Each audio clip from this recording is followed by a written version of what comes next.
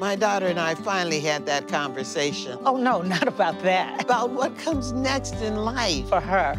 I may not be in perfect health, but I want to stay in my home, where my family visits often and where my memories are. I can do it with help from a prep cook, wardrobe assistant, and stylist. Someone to help me live right at home Life's good. when you have a plan.